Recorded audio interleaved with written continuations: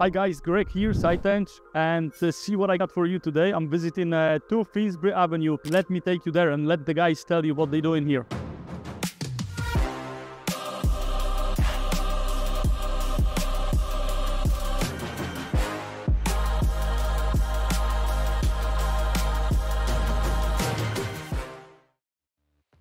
My name is James Wibley. I'm the engineering lead for Morrisroe. So behind us here is our project called 2 Finsbury Avenue, or 2FA for short. We're delivering this on behalf of Sir Robert McAlpine and British Land, following on from the success of One Broadgate behind. You'll see a lot of really amazing complex schemes uh, across this project, which will be shown by Anthony Blair, our slipform manager, and James Reed, our lead project engineer on the job. I'm James Reed, the project engineer working on the 2FA job. Basically, what you're seeing is the top-down construction. We're down at B3. Structural blinding's gone in for the works.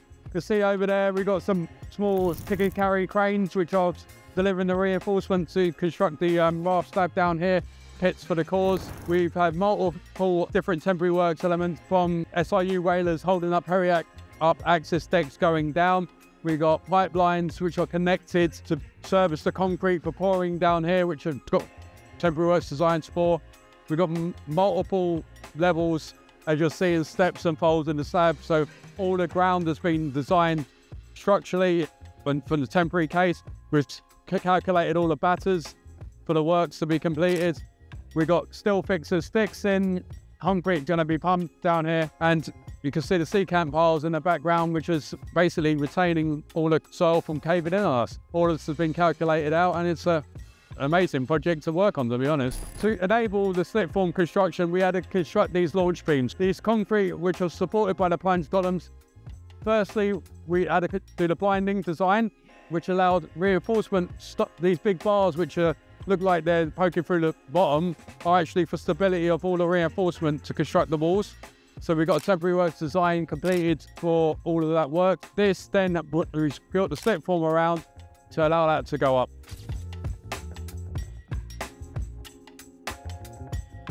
I'm Anthony Blair, I'm working for Morris the project manager on the slip forms. We're standing on the east slip form which is at 2 Finsbury Avenue.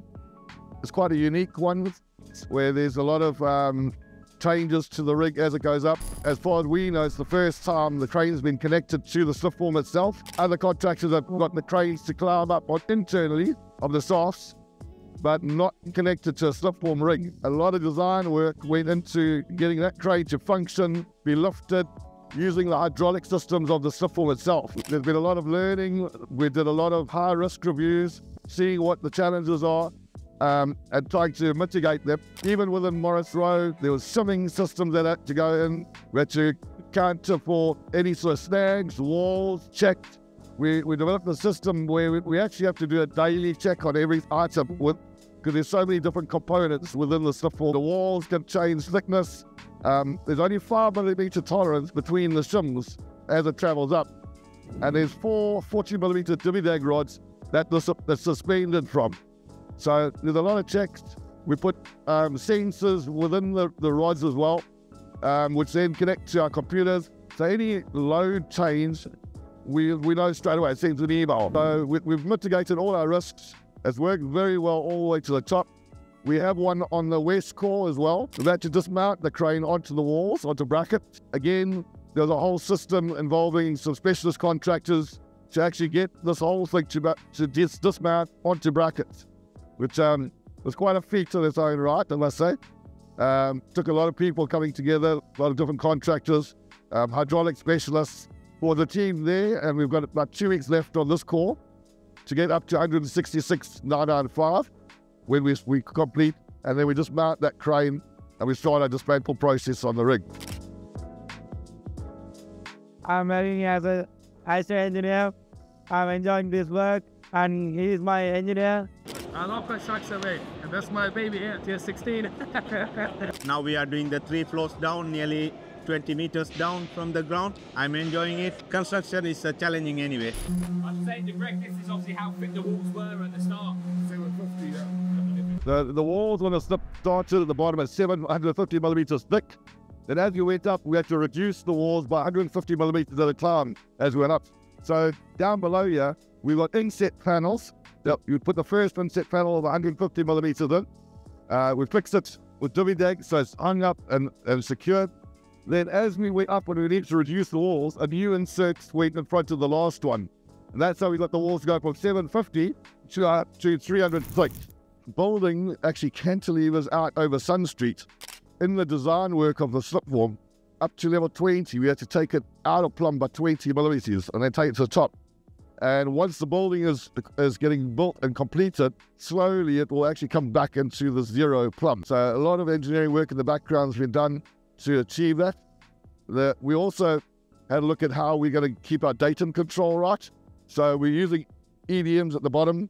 We actually did an exercise um, with some other specialist contractors to look at um, using distometers. It, it actually doesn't work. We proved it. We had a look at that. So using an EDM to shoot up our datums is the best way that we've actually found as a practice. We do it in two places and tie it back in. Datum control is also being axial shortening and settlement within the building. Overall, we're actually looking at about a 35 millimeter settlement with all the other trades, facade, everything done. That's what they're expecting. So we've super elevated, but by the time we got to the top, by 35 millimeters. W- with regards to the crane, there was lots of learning done as well, even within our special supply of the rig. We started off with uh, 12 ton jacks all the way around. You get a little bit of slippages, things like that.